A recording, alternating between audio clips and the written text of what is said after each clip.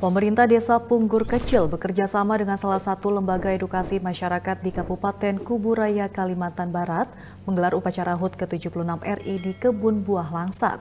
Selain sebagai bentuk eksplorasi sumber daya alam yang tersedia, upacara HUT RI juga membangkitkan semangat juang dari pedalaman Kuburaya.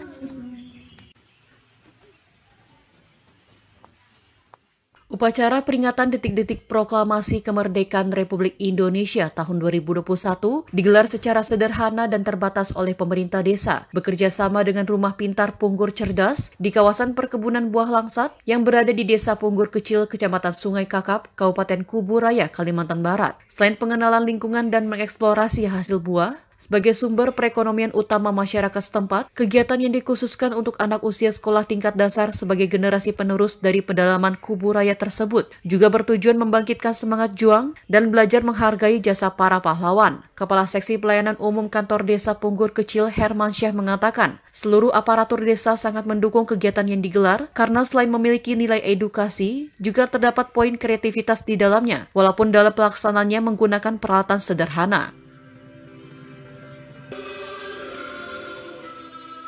Adanya kegiatan anak-anak uh, berupacara di kebun itu sangat-sangat uh, positif sekali dan kami sangat mendukung dari aparatur pemerintah desa mendukung. Kenapa?